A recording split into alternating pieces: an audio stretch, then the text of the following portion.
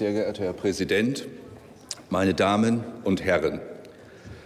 Lassen Sie mich zu Beginn gleich klarstellen, worum es geht.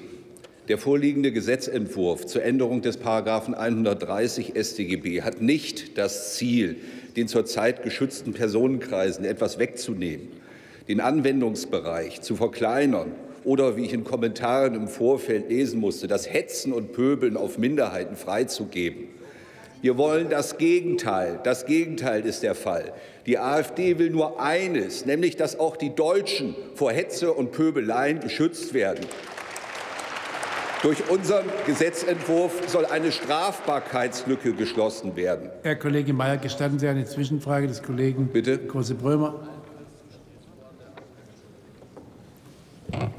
Ja, äh, Herr Kollege Mayer, schön, dass Sie die ähm, Zwischenfrage zulassen, weil Sie ja die Deutschen schützen wollen vor Pöbeleien. Ja. Ich habe äh, von Ihnen eine Rede gehört bei Pegida. Ja. Ähm, da sagten Sie, ähm, hier im Bundestag säßen keine Eliten, ich glaube, Sie wollten da wahrscheinlich Ihre Fraktion außen vor lassen. Aber jedenfalls alle anderen seien auf keinen Fall Eliten, sondern mehr so Funktionärseliten. Ich nee, zitiere. Funktionseliten. Oder Funktionseliten. Gut, dass Sie sich daran erinnern. Funktionseliten, die Sie aus dem Feld schlagen wollen. Richtig, habe ich gesagt. Sehr gut. Ich überlege, seitdem Sie diese Rede gehalten haben bei Pegida. Wie hat er das vor? Also bei mir jedenfalls. Deswegen, äh, weil Sie ja Deutsche. Ja, Sie sind körperlich stärker vor als ich, oder was? Und ich bin ja Deutscher. Ich bin ja Deutscher und Sie wollen Deutsche ja vor Pöbeleien schützen. Sagen Sie mir doch mal, ähm, wie schaffen Sie das erstens, mich aus dem Feld zu schlagen? Oder möglicherweise ist es auch möglich, mich davor zu schützen? Sind Sie Schachspieler? Also darf ich darauf antworten? Jetzt, ja, Sie müssen wenn Sie, genau wenn Sie antworten mögen, dürfen ja. Sie jetzt antworten. Und der Herr Große-Brömer hört sich Ihre Antwort Okay. Und wir auch. Sind Sie Schachspieler? Ja, beim Schach sagt man aus dem Feld schlagen. Das ist ein, ein Begriff, den man eben verwendet, äh, wenn man Schachspieler ist. Und aus dem Feld schlagen bedeutet, dass wir hier strategisch uns so aufstellen, dass Sie und auch von der Kompetenz her so aufgestellt sind, dass Sie hier bald nichts mehr zu sagen haben. Können wir weitermachen? Also, nochmal, ich will wollen, es soll hier eine Strafbarkeitslücke geschlossen werden. Und das ist auch notwendig, denn mittlerweile greift in diesem Land Deutschenfeindlichkeit um sich. Ja, und das ist etwas, was hier immer so verschwiegen wird. Es wird immer nur eine Seite gesehen, die andere Seite wird nicht gesehen.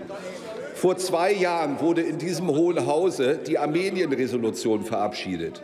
Ein Mitglied im Vorstand des türkischen Elternbundes in Hamburg sah sich daraufhin berechtigt, Folgendes bei Facebook zu posten. Zitat. Erhofft sich Türkei noch et immer etwas Gutes von diesem Hundeclan. Erwarte nichts, Türkei. Übe Macht aus. Sie haben nur Schweinereien im Sinn. Möge Gott ihren Lebensraum zerstören. Fragen Sie einmal die Kinder in westdeutschen Großstädten ob gegen sie schon einmal in der Schule rassistisch gehetzt wurde, gerade weil sie deutsch sind. Es wird jährlich über 100 Millionen Euro für den Kampf gegen rechts ausgegeben. Für den Schutz der eigenen Bevölkerung vor rassistischer Hetze und Gewalt wird nichts oder so gut wie nichts getan. Das ist ein Skandal. Und das Schlimme daran ist, nicht mal den gleichen strafrechtlichen Schutz wie die in unserem Land lebenden Gäste von Frau Merkel billigt man den Deutschen zu. Und das Schlimme daran ist, man könnte auch den Paragraphen 130 StGB in seiner jetzigen Fassung auf rassistische Äußerungen gegen Deutsche anwenden, wenn man es nur wollte. Man tut es aber nicht. In dem Fall in Hamburg, als die Deutschen als Hundeclan bzw. in anderer Übersetzung als Köterrasse bezeichnet wurden, kam es nicht mal zu einer Anklage. Das Ermittlungsverfahren wurde von der zuständigen Staatsanwaltschaft eingestellt. Warum aber wäre eine Verfolgung jetzt schon möglich? Dazu muss man zunächst einmal wissen, dass das Schutzgut des Paragraphen 130 StGB der öffentliche Frieden ist. Das ist allgemeine Meinung. Es ist keine Vorschrift, die speziell Minderheiten zu schützen beabsichtigt. Schon mit der Fassung des Paragraphen 130 StGB im Jahr 1960 hat der Gesetzgeber entschieden, dass gerade nicht nur einzelne gesellschaftliche Minderheiten durch den Straftatbestand geschützt werden, sondern hat Tathandlungen gegen Teile der Bevölkerung unter Strafe gestellt. Wenn man den Begriff Bevölkerung als Oberbegriff sieht, dann sind doch auch die Deutschen nur ein Teil davon woanders als in Berlin. Hier in Berlin wird dieser Befund deutlich. Da braucht man nur einmal mit der U7 fahren und am Hermannplatz in Neukölln aussteigen. Dann merkt man das. Doch wir argumentieren die Staatsanwaltschaften und Gerichte, eine Strafbarkeit scheidet aus, weil die Deutschen nicht ein Teil, sondern die Gesamtbevölkerung darstellen. Das deutsche Volk sei kein unterscheidbarer Teil der Bevölkerung, da ein festes oder inneres Unterscheidungsmerkmal fehle. Das ist Unsinn.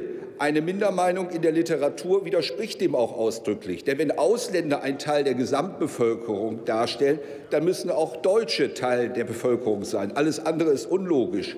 Auch ein großer Teil der Gesamtbevölkerung ist Teil der Gesamtbevölkerung. Wenn Angehörige einer Bevölkerungsmehrheit gegen Angehörige einer Bevölkerungsminderheit hetzen, ist der öffentliche Friede, das Schutzgut des Paragraphen 130 StGB gefährdet. Aber Herr Kollege Mayer, es gibt noch, den, noch, einmal den Wunsch einer Zwischenfrage aus der CDU-CSU-Fraktion. Von wem denn? Also ich habe es jetzt ja. nicht gesehen. Wollen Sie die Zwischenfrage zulassen oder nicht? Das ist meine ja, Frage. Den, der, das ist der Herr Müller, den schätze ich. Bitte. ja, der sitzt im Rechtsausschuss. Herr, Herr Kollege, Herr Kollege Mayer, wir werden sehen, ob das, ob das auch weiterhin der Fall bleibt. Herr Kollege Mayer. Ja. Wie lange haben Sie denn in Ihrer bisherigen Tätigkeit Zivilrecht gemacht und wie lange waren Ihre Tätigkeiten im Bereich des Strafrechts? Denn dieser Antrag, der ist strafrechtlich dermaßen falsch und verquer, dass ich mir nicht vorstellen kann, dass Sie ausreichend und fundierte Kenntnisse hatten, weil Sie ihn formuliert haben. Ja, aber das ist ja gar keine Frage. Oder ist das eine Frage lautet, die Frage lautet, ist doch ganz einfach. Wie lange haben Sie als Zivilrichter gearbeitet und wie lange haben Sie als Strafrichter oder im strafrechtlichen Bereich gewirkt? Wenn man den Antrag liest, hat man den Eindruck, nicht allzu lange. Herr Kollege also Mayer, können, Sie können die Frage beantworten. Sie müssen nicht, Sie können. Ja, also ich bin äh, Zivilrichter gewesen und ich war Staatsanwalt. Ja.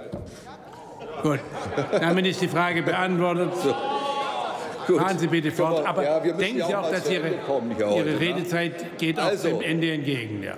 Äh, da die Staatsanwaltschaften und Gerichte diese Schlussfolgerung nicht ziehen, bedarf es einer klarstellenden Gesetzänderung, die vorsieht, dass auch das Hetzen gegen die Bevölkerungsmehrheit unter den Tatbestand der Volksverhetzung fällt. Es geht um den Schutz der Deutschen im eigenen Land, nicht mehr und nicht weniger. Diese wollen genauso geschützt werden wie die Gäste von Frau Merkel. Es muss Schluss sein damit, dass die Deutschen im eigenen Land zu Bürgern zweiter Klasse werden, wie wir es immer wieder erleben. Um dies zu verhindern und zu beenden, sind wir jetzt, die AfD-Fraktion, hier in diesem Parlament. Wir sind gekommen, um zu bleiben, und wir bleiben, bis wir uns hier durchgesetzt haben. Vielen Dank. Nein, das, kommt, das geht jetzt nicht.